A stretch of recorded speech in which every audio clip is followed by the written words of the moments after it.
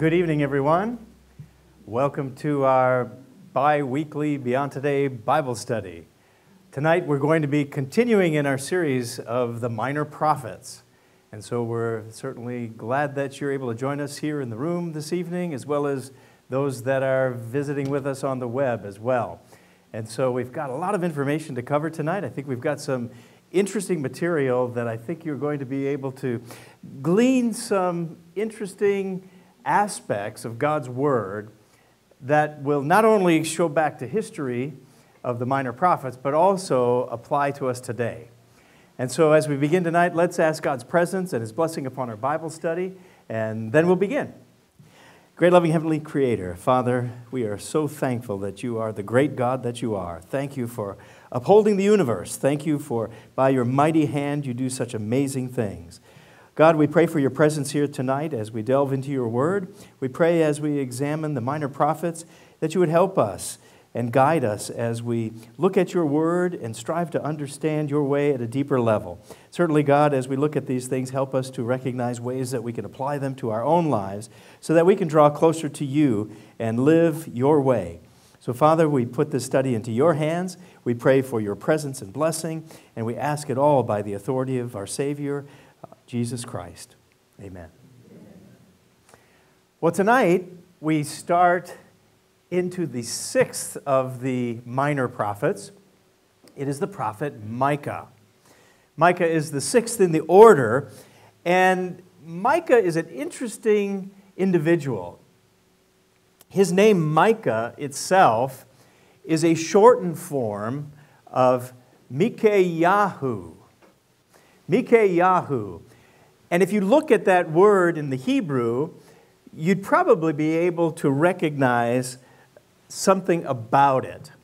It's taking two words, the Mika and the Yahu, and it literally means who is like the Lord or who is like the eternal. And so Micah comes from Mikayahu. And it's, it's interesting, if you were to read about Micah himself, there are some who think that perhaps Micah was not really his name. Some think because as he prophesied and he went about preaching God's way, uh, teaching them, proclaiming God's truths, that he would often say, Who is like the Lord? And his prophecies would begin in that way. And so some of the scholars feel that because he said that so often, his nickname became Mikayahu or Micah. And so, kind of an interesting aspect to this prophet, Micah. Now, Micah was one of those who preached at about the same time as some of the famous prophets, like Isaiah. Uh, also, at the same time, a contemporary to Amos uh, as well as Hosea. They were all pre- preaching and prophesying about the same time. Now, this book itself was an interesting one because it wasn't just specifically to one people. It wasn't just to Judah or wasn't just to Israel. It was actually written to both. To both. Now, focused more on Judah as we go through it, but Israel had not been conquered yet at this time.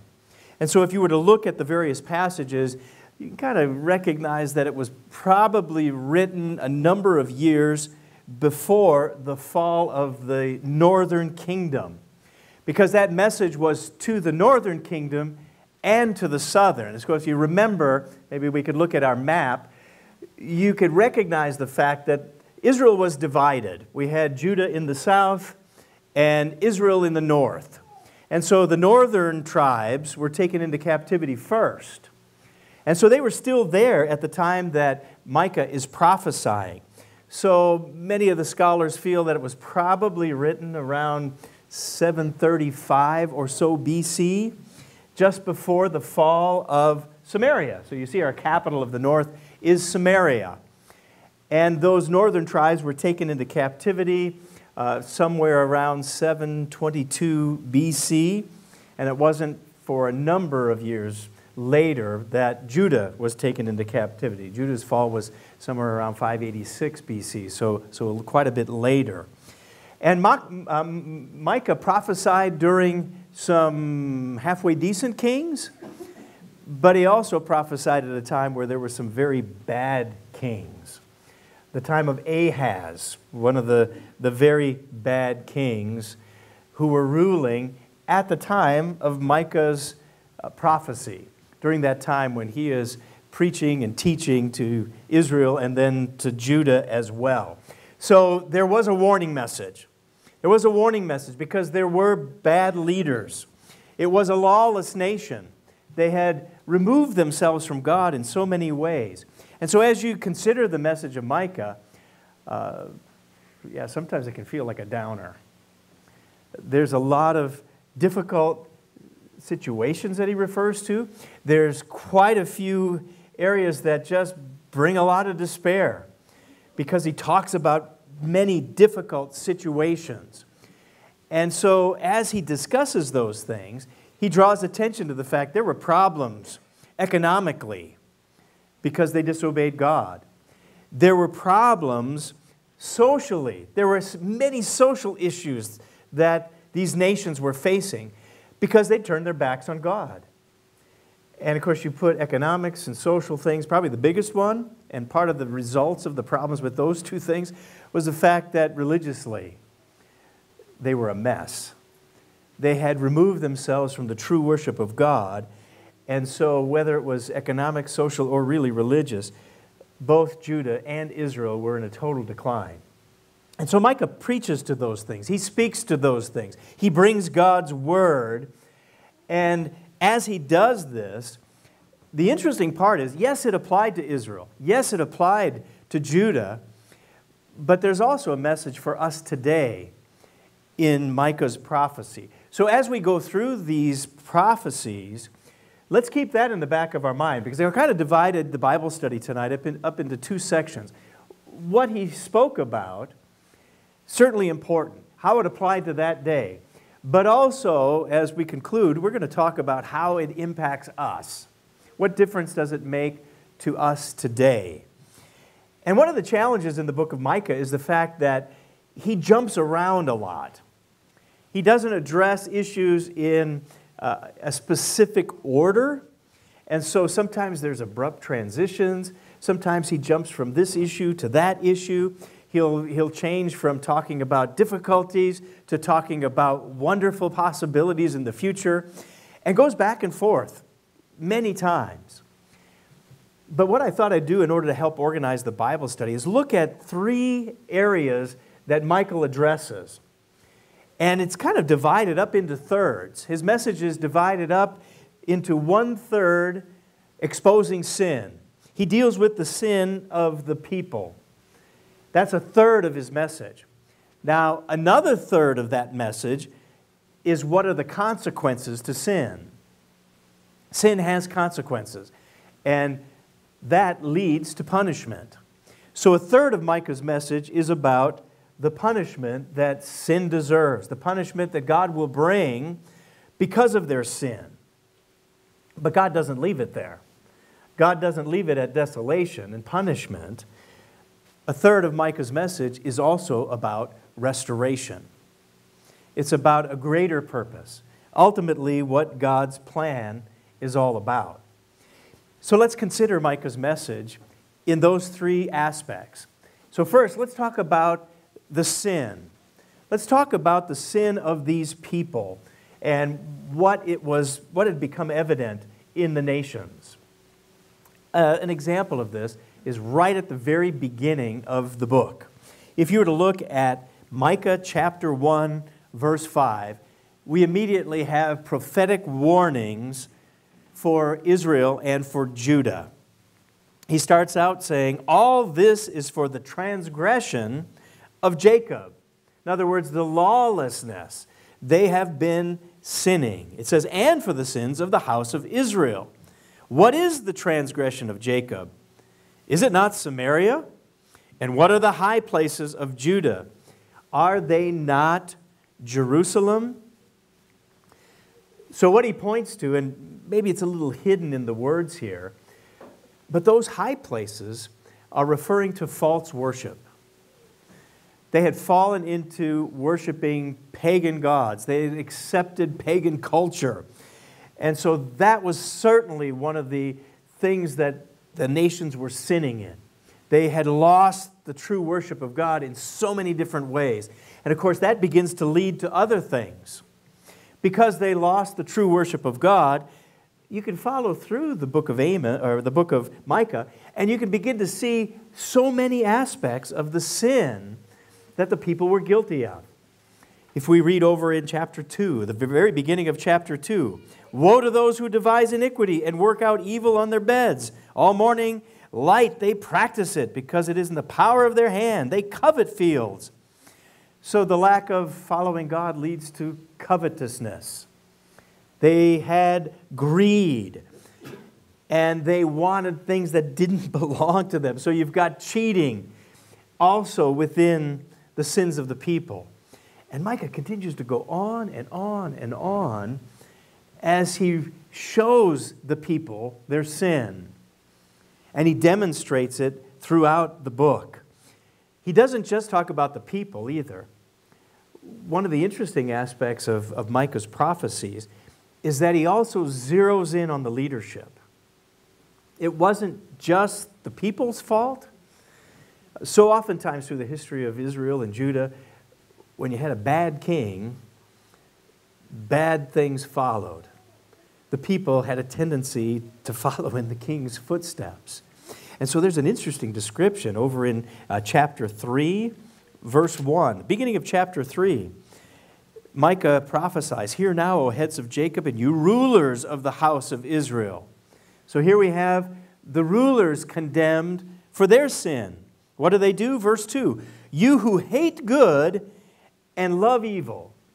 That's how bad it had gotten the leadership, the religious leadership, even as well as the rulership in the country, even the princes, had fallen into this state of mind. In fact, he even says, You make my people stray. So, the impact of bad rulers, uh, they abhor justice, Micah says, and they pervert equity. Those are aspects that are mentioned here in verse in, in, chapter 3 if you look down to verse 9 that's where he gets into that. Abhorring justice and perverting iniquity. And the amazing part is how they come to a wrong conclusion. If you look to verse 11 chapter 3 her heads judge for a bribe her priests teach for pay her prophets divine for money so they're doing all these evil things but what do they say? What do they say about their relationship with God? End of verse 11, it says, They lean on the Lord and say, Well, isn't the Lord among us? Well, because they had a, a, a tabernacle or because they had a temple in Jerusalem, they could say, Well, God's with us. So they had an appearance of religion, but it was all a sham. And they used this excuse like, well, we're still here. We haven't gone into captivity. Don't we have the temple? And they'd look at it in that way. And yet they're oppressing the people. The leaders are oppressing the people. There's bribery among the judges. Uh, the priests are disloyal. The people have a greed and a covetousness. And so God cannot allow that to continue.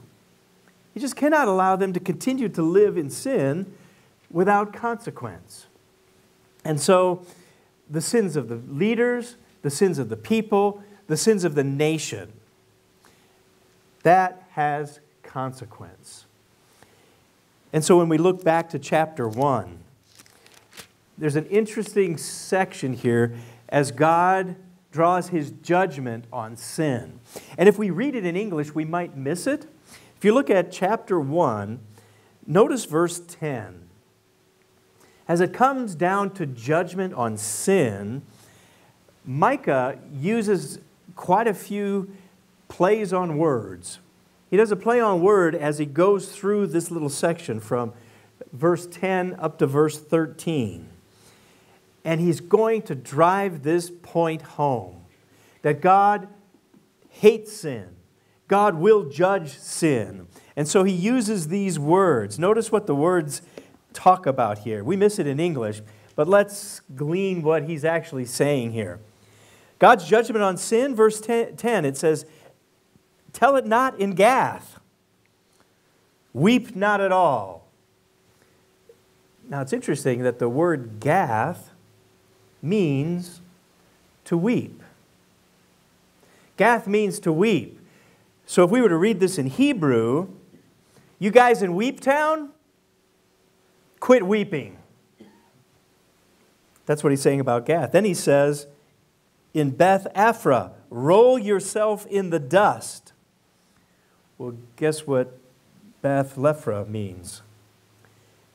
It means dust. It means dust. So, town of dust, in Dust Town, roll yourself in the dust. In other words, God's going to judge sin. So watch out for what your name means. He goes on.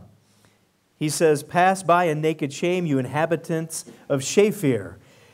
Shaphir can mean beauty. So in Beauty Town, you're going to be shamed.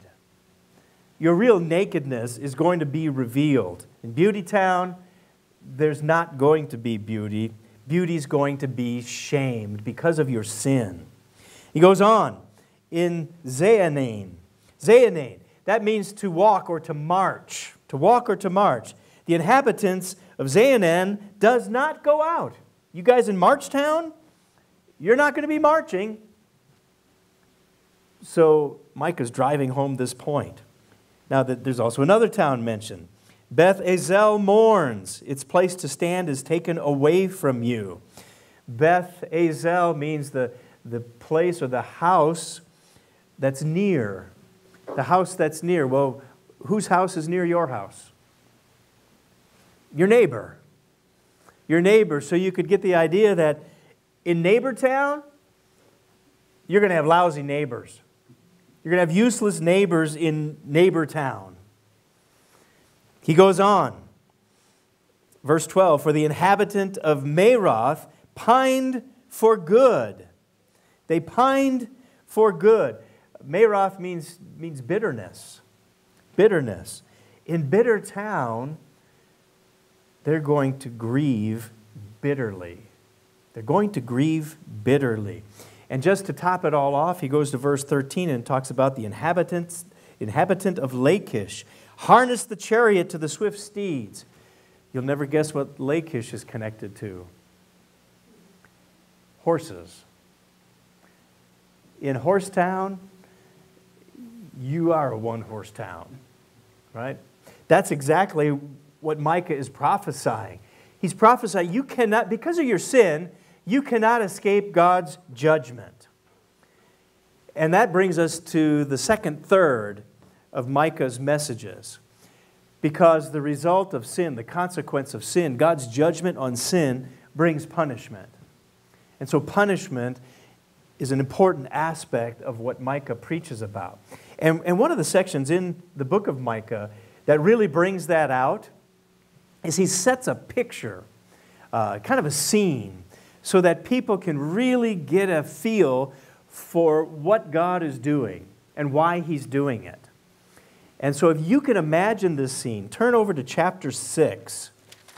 Micah chapter 6. Remember, we said sometimes uh, Micah's prophecies are a little disjointed and he transitions to different sections uh, pretty abruptly.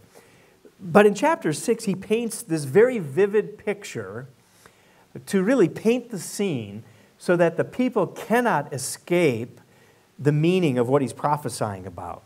So in chapter 6, see if you pick up the scene here. Chapter 6, verse 1. Hear now what the Lord says Arise, plead your case. You get the scene? Where are you when you plead a case? You're in court, right? You're in court. You plead your case, he says, before the mountains. Let the hills hear your voice. So imagine Israel and Judah are in court. They are standing in court. So we're going to see lots of legal language throughout chapter 6. And one of the interesting things is who's on the jury in this courtroom? Did you catch it there, right there in verse 1? He says it a couple of times here. Plead your case before the mountains. Let the hills hear your voice. Or go on to verse 2. Hear you, O mountains, the Lord's complaint, and you strong foundations of the earth, for the Lord has a complaint against his people, and he will contend with Israel. So here we see the jury, it's the hills, it's the foundations of the earth itself. Uh, why would you have that for a jury? Well, do you want a novice on the jury? no. You want somebody that's been around a while. You think the hills and the foundations of the earth have been around a while? Yeah, they're, they're going to hear this case. And God is the complainant.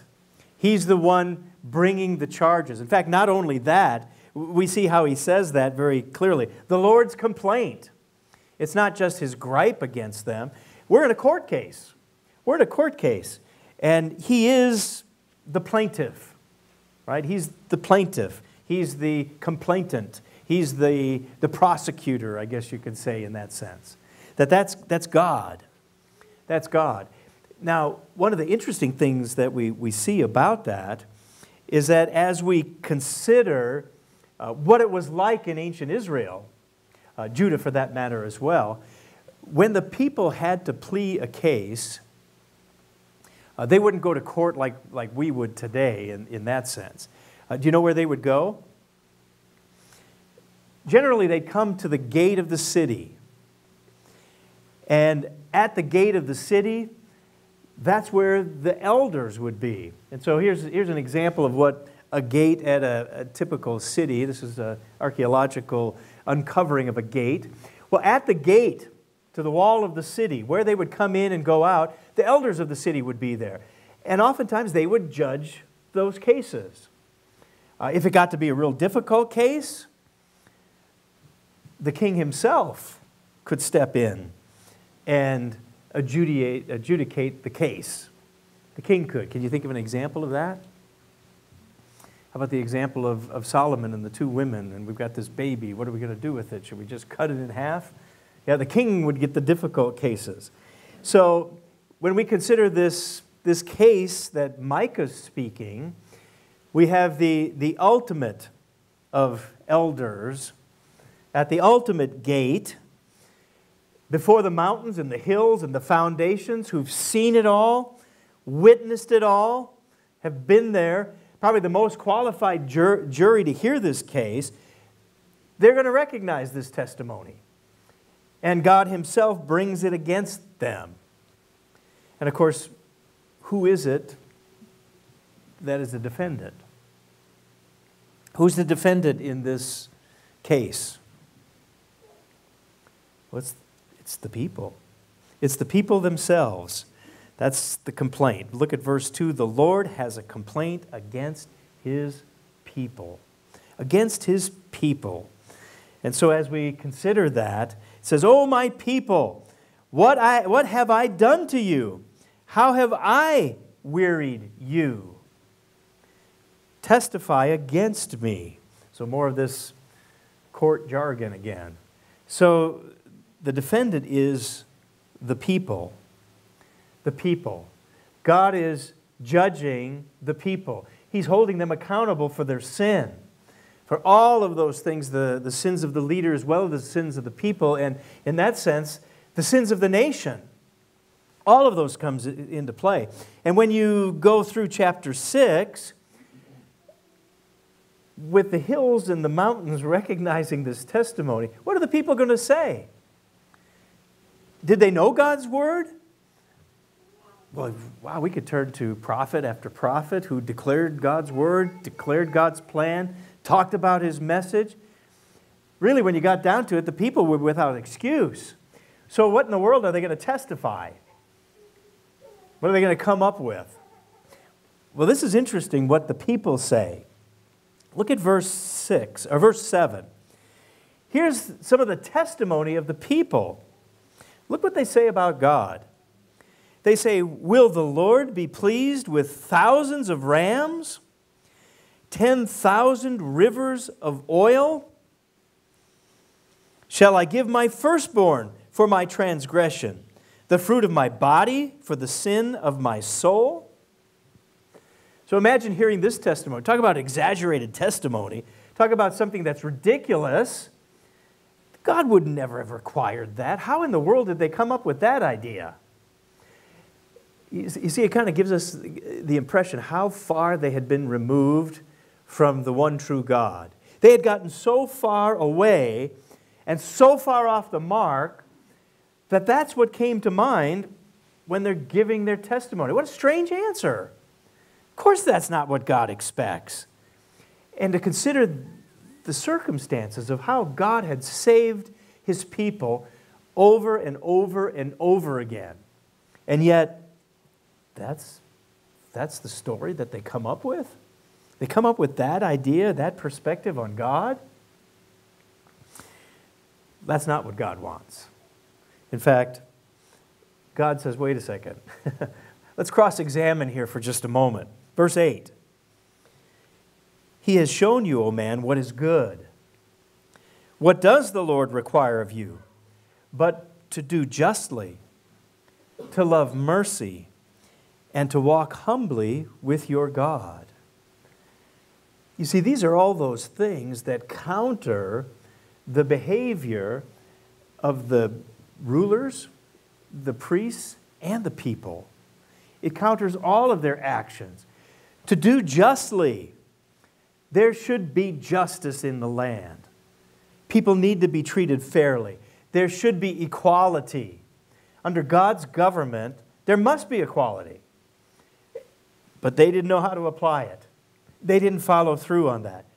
That was God's expectations. That's what He really wants. In fact, He goes on and He says it's based on love. God's system of government is based on love. And they should have had that basis as well. That unchangeable law of love was what all the people should have. That should be their perspective. And they should have rest the government, their attitude, their rulership, everything on that concept of love and loving mercy. Loving mercy. And so that aspect of humility before God is also a major part of that. So, doing justice, loving mercy, walking humbly. How should we live our life? Well, here it is.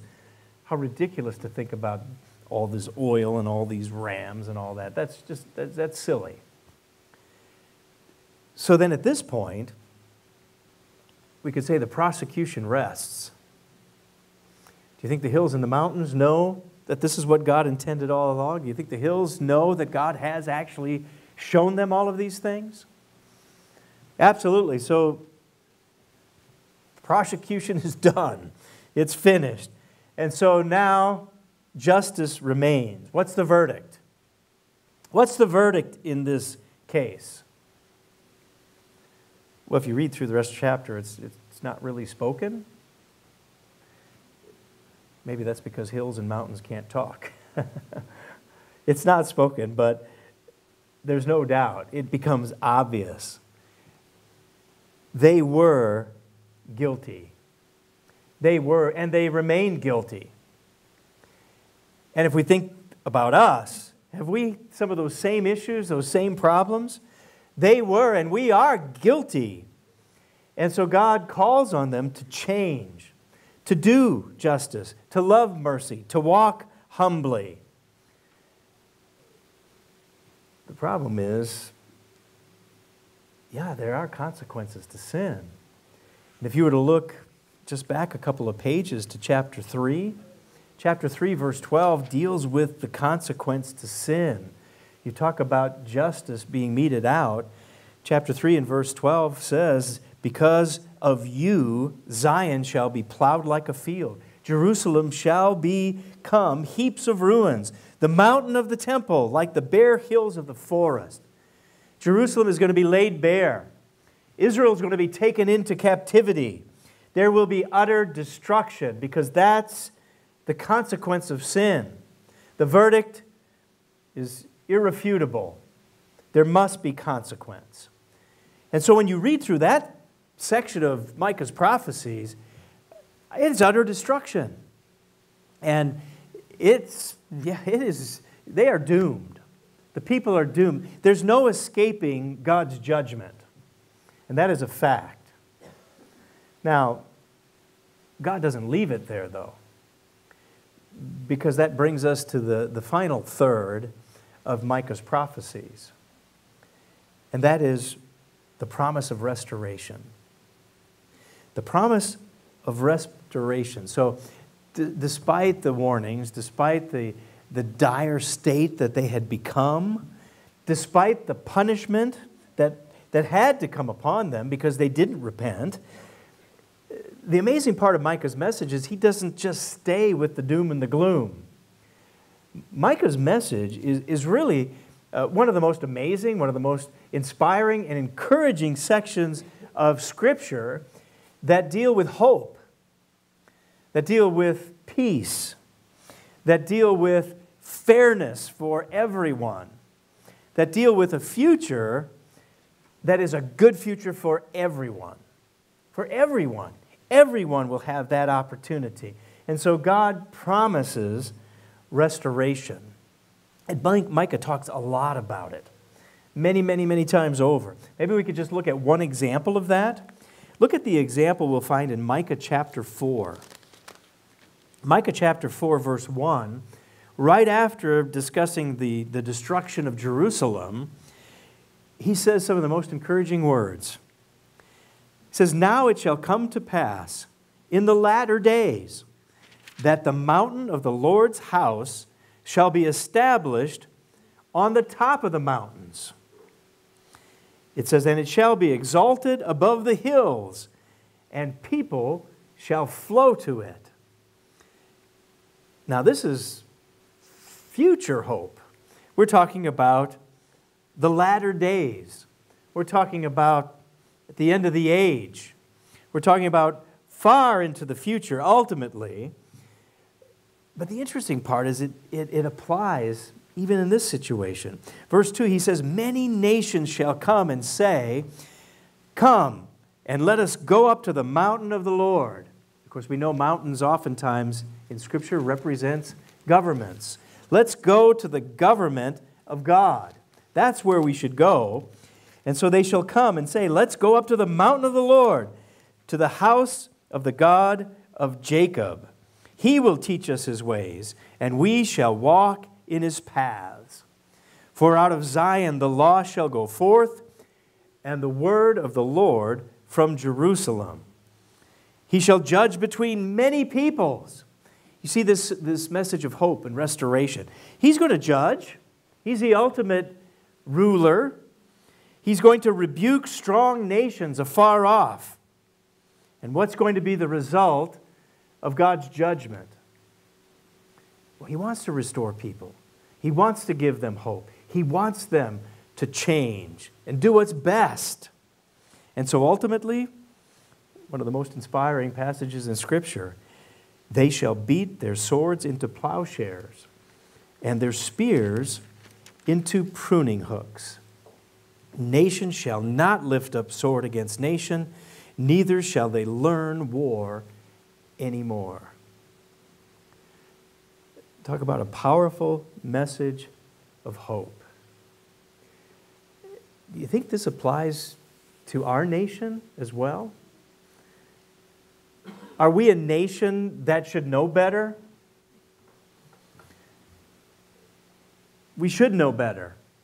And there are those that would argue that, oh, we didn't have Christian forefathers. Our nation wasn't based on Judeo Christian values. But when you really study history, that's ridiculous.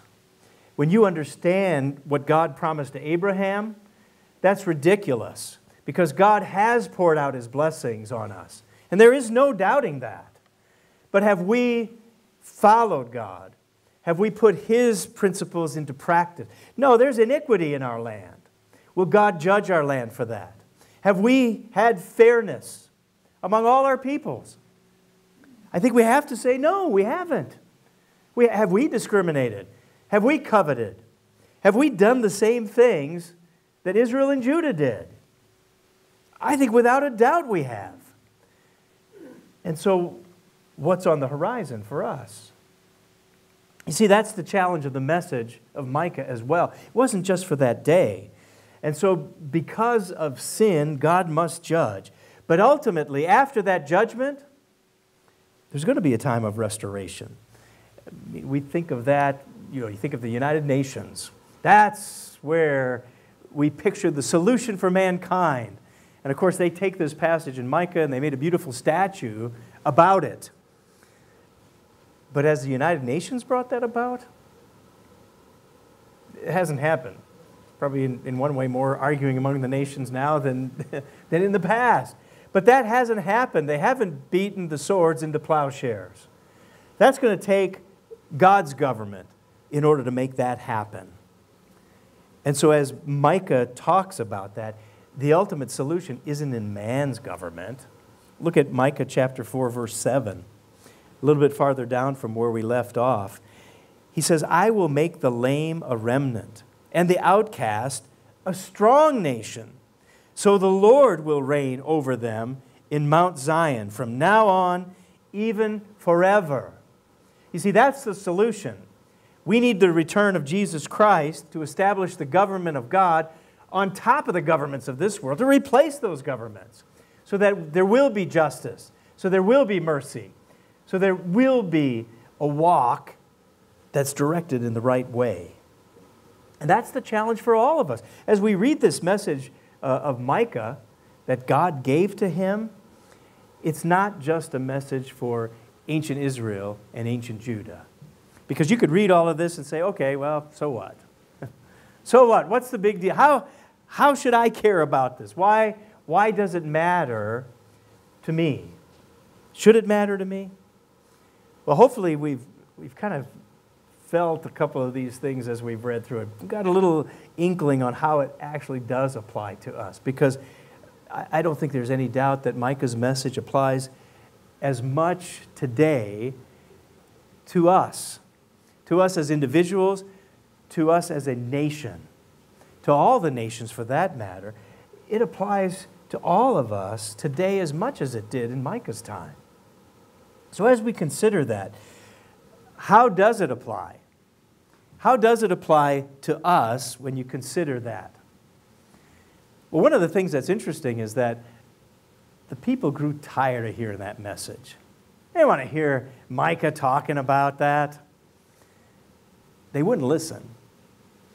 And what a message for us. We need to listen to the warnings. We need to listen to the warnings. The people didn't listen at that day. They didn't listen to Micah's warning. And he spoke out against how they sinned. He spoke out against how the rulers ruled. He spoke out against the judges. He spoke out against the religion, the priests. What about us? Are we, are we listening to that warning? Is our nation listening to this warning? I mean, Micah's not the only one to do this. If you were to look at the ministry of Christ and what he spoke about over and over and over again, he spoke about these same issues. There's a whole section of Matthew 23 where he goes over and over and over much of the same message of people having a phony religion, doing things to be seen by men. Matthew 23 talks about that. Making a pretense of, of long prayers in public, acting like they're really religious people, but what do they do? Their actions betray them. He talked about the fact that even the leadership, those who are supposed to be his people, oh, they look real good on the outside. Right? They wash the outside of the cup, but what's on the inside? It's a mess. It's full of, he said, extortion and self indulgence. That's what God looked at. That's what he saw. The outward appearance, people look pretty good. But on the inside was hypocrisy. And so Christ reiterated this message. He reiterated those warnings. In fact, if you look at chapter 7, verse 21, Matthew chapter 7, verse 21, notice, notice the way that Christ spoke to this same aspect, similar to the warnings that Micah gave. Warnings for us, warnings for us today. Notice how this fits into this. Matthew chapter 7, verse 21. He says, Not everyone who says to me, Lord, Lord, shall enter the kingdom of heaven, but he who does the will of my Father in heaven. He who does the will of my Father in heaven. That's where it's at. He says, Many will say to me in that day, Lord, haven't we prophesied, cast out demons, done many wonders? Verse 23 Then I will declare to them, I never knew you. Depart from me, you who practice lawlessness. Boy, I, I suppose if you summarized Micah's message to Israel and Judah, it was yeah, those who practice lawlessness, they're going to be taken away. We better listen to that warning. We better make sure that we're not in that frame of mind. We have to be so sure that we're following God's teachings. That's what He says to us over and over and over again. Listen to the warnings. Listen to the warnings because they're packed throughout God's Word. And whether it's the Gospels or whether it's Paul's epistles or whether it's the general epistles or whether it's the book of Revelation, that same message appears over and over and over again. God's warning us get your act together. I want a relationship with you. I want a relationship with you. Listen to me. So God says that. What that also means then is like the people in that day who proclaimed to be religious, who proclaimed to have God on their side. Um, yeah, nations do that today. They proclaim to have God on their side. But do they act like it? Or are they deceived? You see, part of the message of Micah is that we have to watch out for self deception. We have to watch out for fooling ourselves religiously. Watch out for religious self deception because the people of Micah's day, the people of Christ's day, very similar. They were deceived into thinking that they were spiritual. There was this false sense of, of righteousness. Well, we have to ask ourselves then do we have a false sense of, of righteousness? You know, how do we really measure up? You know, we're told throughout Scripture we're, we're to rise to the standard, to the measure, to the stature of Christ. So we can't fool ourselves. We can't deceive ourselves. We have to look at ourselves honestly. And so that's certainly a personal thing that every one of us have to do. And of course, as a Christian nation, as a Christian nation, we have to look at ourselves in that way as well.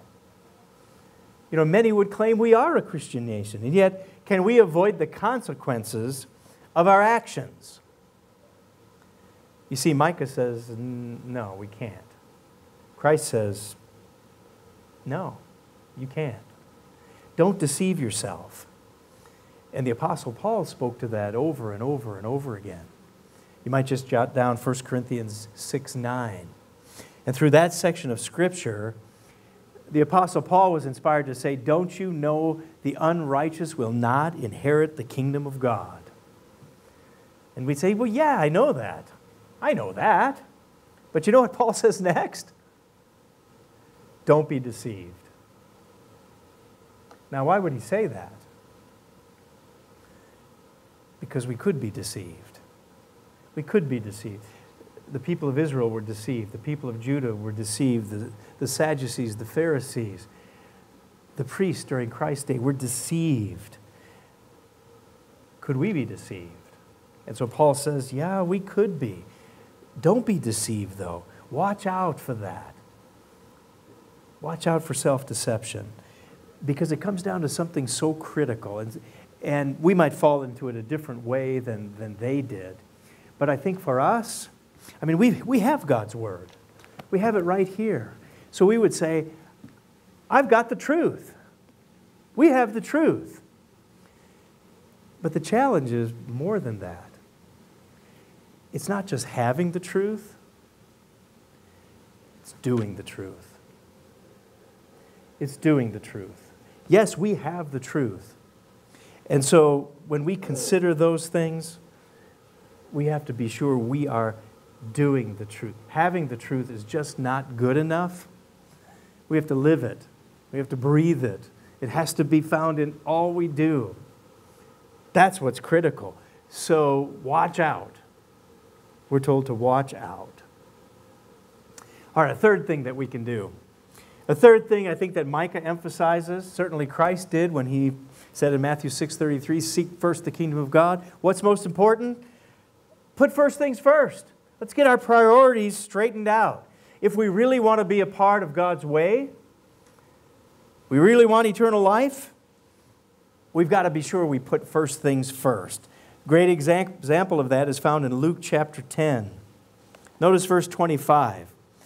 Luke chapter 10, verse 25, we have a real life example here where a, lawyer comes to Christ and he poses this question. I, I think, in one way, trying to trip Christ up, trying to fool him, maybe, maybe a little bit of the, the spirit of the people during Micah's time kind of shows itself here. This lawyer comes to Christ, verse 25. He stood up and tested him, saying, Teacher, what shall I do to inherit eternal life?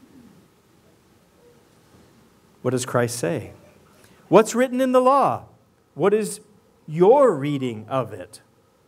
What's your reading of the law?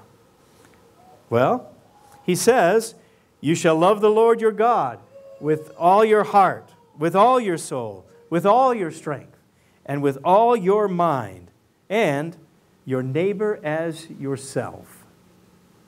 So he summarized the Ten Commandments in two you love God, you love your neighbor. Christ's response You have answered rightly. Do this and live. Do this and live. I mean, saying it a different way, put first things first. Seek first the kingdom of God. Recognize the times that we live in. Recognize where we are living in time and despite the distractions, despite the difficulties, despite the kind of nation we live in, we have to demonstrate our willingness to put first things first. Just because we've got it pretty good, things aren't all that bad right now. Yeah, at the time Micah was prophesying, it wasn't that bad. But it didn't take too long before Assyria was on the doorstep carting people off It wasn't that much longer before Babylon came and took Judah. See the urgency of the times that we live in. Recognize what this world is like. Recognize our own spiritual state, because that becomes so critical. Are we honest with ourselves? Are we, what is most important in our lives? How often do we put first things first? Okay, that's a little bit different way to ask it. Am I putting first things first more often than not? And where I'm not, I need to change. I need to repent.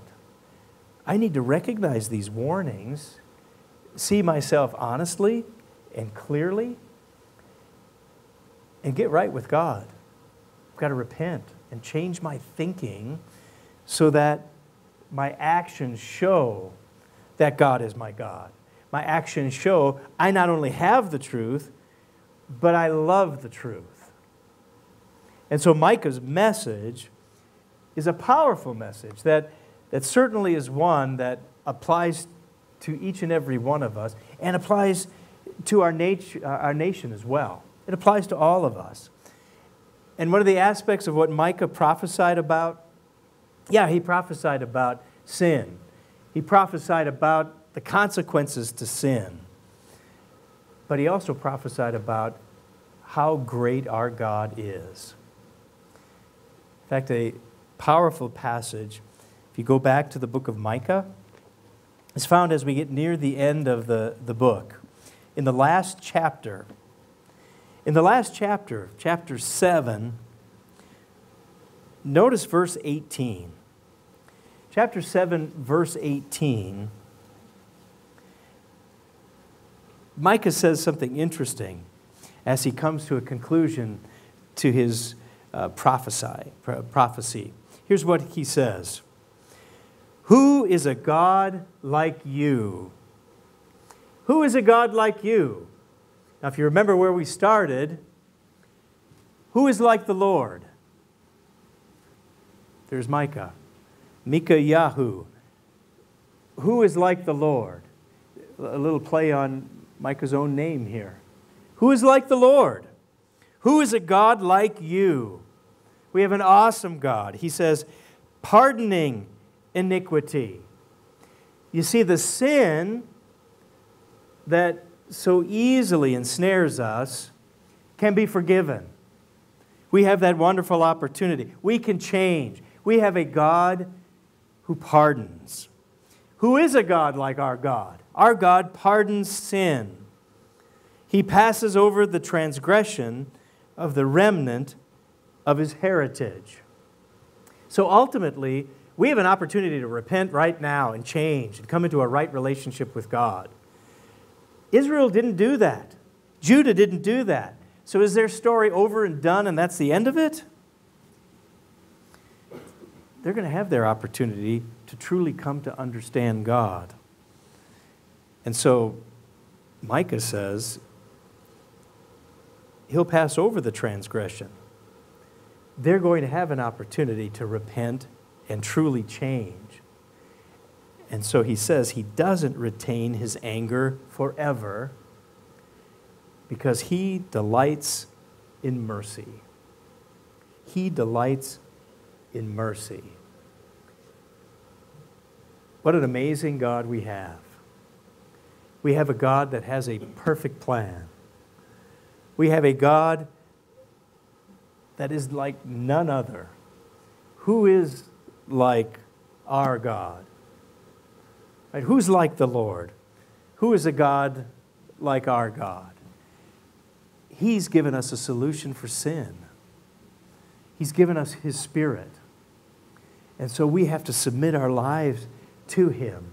We have to respond to that. We have to change. And so when we take this message of Micah to heart, yeah, we got to listen to those warnings. We got to put those sins behind us. We've got to change. We've got to come before God and we've got to confess that sin, that guilt before Him, and we've got to repent. We've got to change our way of thinking so that we can look to Him like Micah says here, that we can look to Him as our pardoning God, as our merciful Father, as the one who gave a sacrifice for sin that extends mercy to us. That's the kind of God we have. And so we can see ourselves for who we really are, and we can have a humble perspective in life. We can walk humbly. We can be open. We can be honest with God. We're not putting on any kind of a show. We're not trying to hide from God who we really are.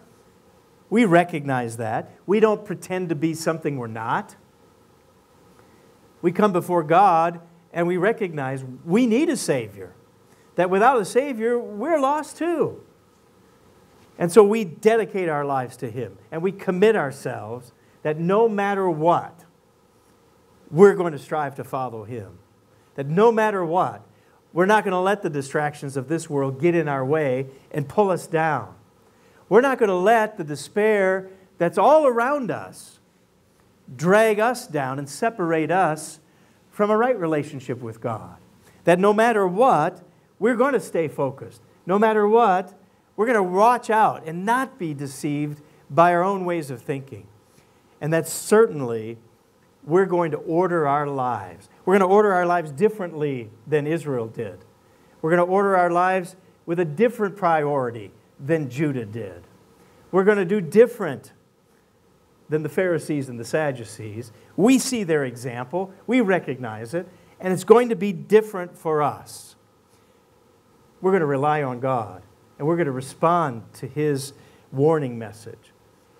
And we're going to submit. We're going to submit to God's Holy Spirit and come to him in repentance so that we can truly say that we are striving to do justly.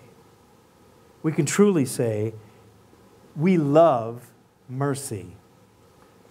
And certainly, when we do those very things, there is no doubt that we will be humbly walking with our God. Well, that's Micah's message in a nutshell. Uh, there's a lot more to it. I, I hope you'll take the time to actually read through all of Micah's message because it is such a powerful, positive message. Yes, there's you know, condemnation of sin. Yes, there are consequences to sin. But the ultimate message is a message of hope. And that is the wonderful nature of our God, that He doesn't give up on us. He's going to give us every opportunity to come into a right relationship with Him. So we certainly don't ever want to forget that. So let's, let's read through it all. Read through it all, enjoy what God has given us, and be sure that don't put it just as a place in history. Recognize the fact this is written to me too. This is written to me as well. And I think that can help us to get so much out of God's word that Micah delivered. All right, that will do it for tonight. Thanks for being with us. Uh, we will have our next Bible study in two weeks, and we'll continue with our series on the minor prophets. So be safe, be careful driving home, and we'll look forward to next time.